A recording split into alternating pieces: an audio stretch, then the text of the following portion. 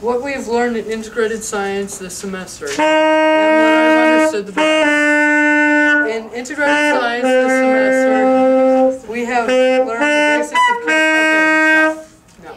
No, no, it's way too loud. Chemistry is the study of matter and how it changes. Matter is anything that has mass and volume. It is made of tiny particles that are in constant motion. We have classified matter as either a substance or a mixture. Substances can be either an element made of an atom or a compound made of molecules covalently bonded like two with two nonmetals or metals that share electrons or ionic bonded atoms like between a metal and nonmetal that give or take electrons. Mixtures can be homogeneous, evenly mixed, or heterogeneous, unevenly mixed.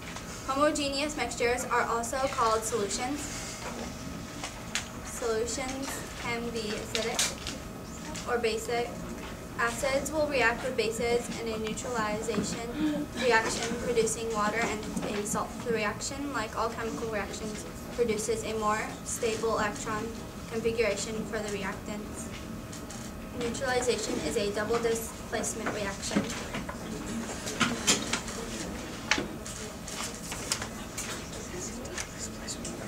Okay.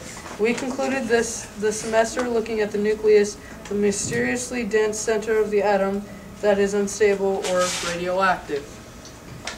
For some isotopes, some for some isotopes, some isotopes are so unstable that they will split or fission. Homo sapiens have cleverly taken advantage of this property to produce huge amounts of energy using the equation E equals mc squared. What I understood the best of all we studied was the elements. The, they intrigued me. I found them very interesting and how they have their own story and how they're all different and unique. What I understood the best of all we studied was mixtures because they were pretty simple to understand. And the experiment was cool.